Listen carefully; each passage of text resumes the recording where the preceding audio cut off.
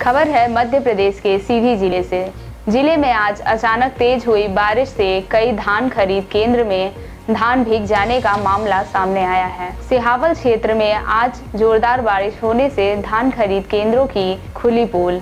सिहावल के सोन बरसा धान खरीद केंद्र में हज़ारों क्विंटल किसानों की धान बारिश में भीग गई। बताया जा रहा है कि उक्त समिति द्वारा बारिश से बचाव के कोई इंतज़ाम नहीं किए गए थे। वहीं फ़सल बिक्री करने गए किसानों की धान भी पानी में भीग गई और किसान खरीद केंद्र में परेशान होते रहे।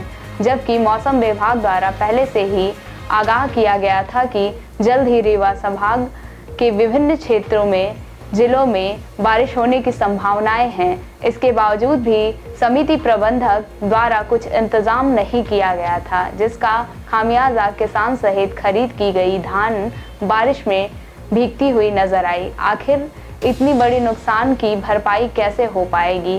क्या किसान की गीली हुई धान अब समिति प्रबंधक लेगा? क्योंकि जब तक धान नहीं सूख जाती, खरीदी नहीं की जा सकेगी। और दो तीन दिन मौसम खुलने के आसार नज़र नहीं आ रहे हैं। पोल खोल पोस्ट के लिए सिहावल से राज बहोर केवट की रिपोर्ट। तो सब्सक्राइब करें, घंटी का बटन दबाना न भूलें, जिससे नई अपडेट आपको समय समय पर मिल सके।